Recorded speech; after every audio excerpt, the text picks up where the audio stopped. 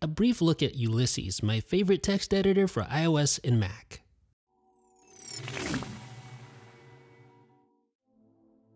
iCloud Sync in Ulysses is wonderful because you don't have to worry about syncing up using some external username and password. If you have an Apple device with an iCloud account, it just works. And it syncs across the Mac and iOS. In this example though, I'm going to sync between an iPad Pro and an iPhone 7 Plus. So let's watch it work. And after a few seconds, bam, you're in sync. This is a great provision if you often find yourself switching between work devices. There's also Markdown support, which is invaluable for a writer who wants their text to be portable. It uses a simple plain text syntax that can be exported to all sorts of formats like HTML or PDF. And you can see how easy it is here. So I'm just going to create a link and Ulysses handles the rest. Pretty sweet. But the really cool thing is that you can export right from Ulysses. So if I just hit the share button, you can see plain text formatting. Even though it's marked up, it's still easy to read in plain text. And I can go in and select a different format if I want to do that. So I can select, for instance, PDF. There you have a PDF format. Or I can choose HTML and I can actually copy the HTML code and paste that into, for instance, WordPress if I want to do that. And if you're not very familiar with Markdown yet, you can take advantage of the easy to use shortcuts in the bottom right hand corner. Speaking of shortcuts, there are plenty of keyboard shortcuts and these are contextual, so they will change based on where you are within the app.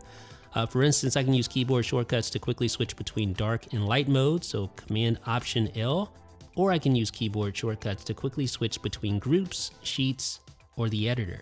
And once on the editor view, I can use Command Return to start editing, and then I can go in and modify individual text as well.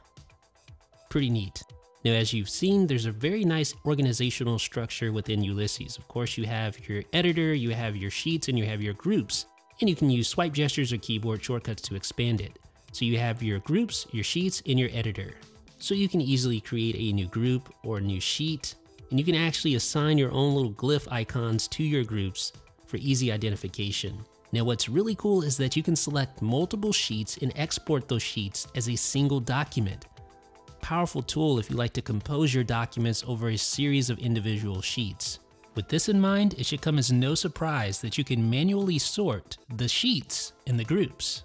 You can also split a sheet using a keyboard shortcut like this for even more organizational control. So when you split a sheet, it creates a brand new sheet with the text contained at the point where you split it, just like this. And then lastly, there is text expander support built right into Ulysses, which is awesome.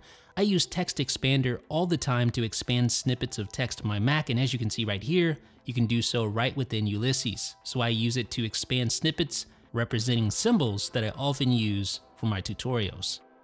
So ladies and gentlemen, our Friday 5 app of the week is none other than Ulysses. It is my favorite text editor on the Mac and on iOS. What do you guys think? Let me know down below in the comment section. This is Jeff with 9 to 5 Mac.